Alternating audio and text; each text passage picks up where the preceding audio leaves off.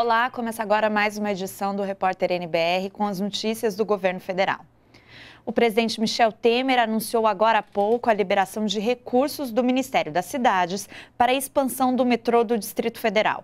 Os investimentos serão usados para construir duas novas estações e ampliar os 42 quilômetros de extensão do metrô na capital do país. Parte do dinheiro também será usada para modernizar o sistema de transporte construído na década de 1990. Entre as ações previstas está a melhoria da comunicação entre os trens e o centro de controle. Durante o discurso, o presidente Michel Temer afirmou que esse investimento atende à demanda da população por serviços públicos de qualidade.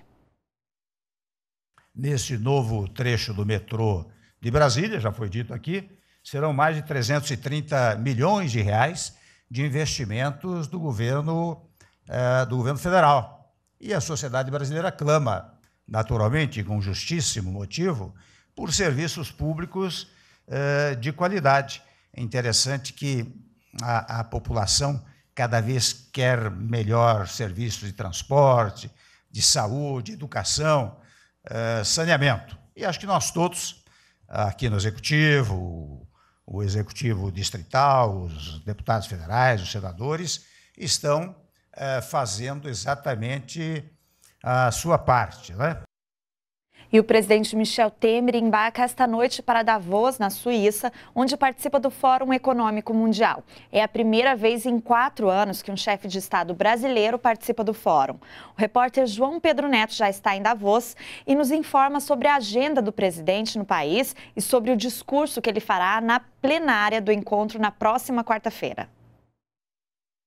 Durante quatro dias, o Fórum Econômico Mundial reúne aqui em Davos, nos Alpes Suíços, os principais líderes políticos, empresariais, de organizações internacionais e da sociedade civil do mundo para discutir os principais temas globais da atualidade. O presidente Michel Temer participa da 48ª edição do encontro no segundo dia e vai discursar no auditório principal do evento sobre o cenário político e econômico no Brasil. No fórum vai destacar a recuperação da economia brasileira, afirmar que o país está cada vez mais competitivo e aberto e que hoje oferece oportunidades de investimentos em várias áreas.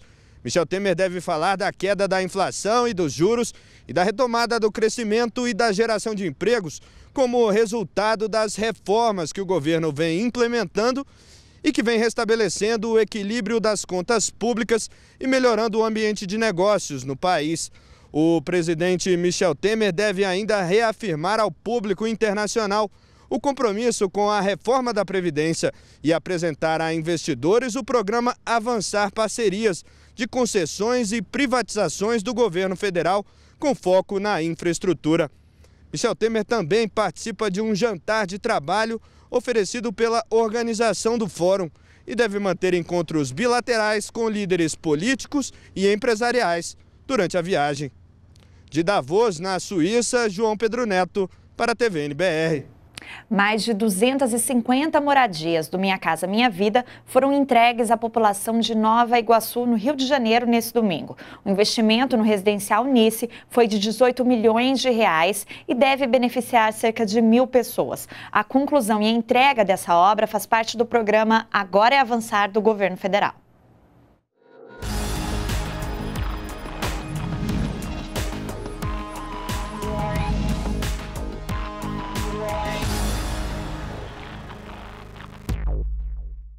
Luciano não vai esquecer tão cedo o primeiro passo dentro da casa própria.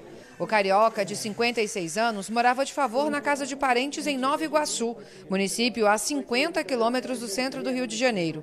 Agora, mal pode esperar para começar vida nova no novo lar. A gente está doidinho já para mudar logo, já inaugurar a casa já, entendeu? É isso. Além do Luciano, outras mil pessoas têm motivos para comemorar o ano que começa. Eles também receberam um imóvel do Minha Casa Minha Vida e estão realizando o sonho da casa própria. Eu perguntei a três pessoas aqui, três mulheres, a senhora que veio aqui receber a chave, a dona Gilma que está aqui, a dona Rosângela que está ali, todas pagam aluguel o aluguel que elas pagam aqui é 350, 400, chega a 450 reais de aluguel.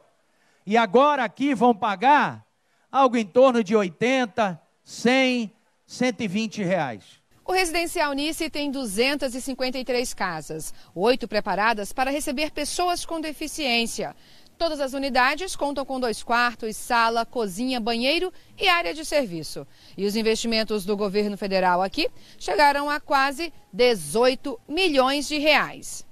Atendendo às exigências de qualidade do Minha Casa Minha Vida, o Residencial Nice tem infraestrutura completa: pavimentação, rede de água, esgoto, drenagem e energia elétrica. O condomínio conta ainda com guarita, centro comunitário, quadra para a prática de esportes e parque para as crianças. Nos próximos dias, outros empreendimentos vão ser entregues na região. As obras do Minha Casa Minha Vida também estão sendo retomadas em todo o país. São 3 mil moradias no residencial Provence, aqui bem próximo. 3 mil moradias. São 3 mil sonhos para essas famílias. O Minha Casa Minha Vida integra o programa Agora é Avançar, lançado pelo governo federal ano passado para retomar e concluir mais de 7 mil obras que estavam paradas. Até o fim do ano, dentro do Agora é Avançar, serão feitos investimentos de 130 bilhões de reais em todo o país. Esse investimento só está podendo ser feito porque nós conseguimos acabar com a recessão no país, melhorar a arrecadação do governo federal, colocar dinheiro nos cofres do governo federal para que o governo pudesse realizar obras de habitação, de saneamento, de saúde, de educação, de transporte, de defesa, de ciência e tecnologia, obras que vão melhorar a vida de cada um dos brasileiros pelo país inteiro. Jorge Pavarotti não tem esse nome à toa. Aos 80 anos, recebeu uma casa no residencial Nice, inspiração suficiente para fazer música. Minha casa é tão bonita que dá gosto a gente ver. Nós ficamos por aqui. Você pode rever as reportagens no YouTube e toda a nossa programação também está na página da NBR na internet. Continue com a gente na TV, na NBR, a TV do Governo Federal.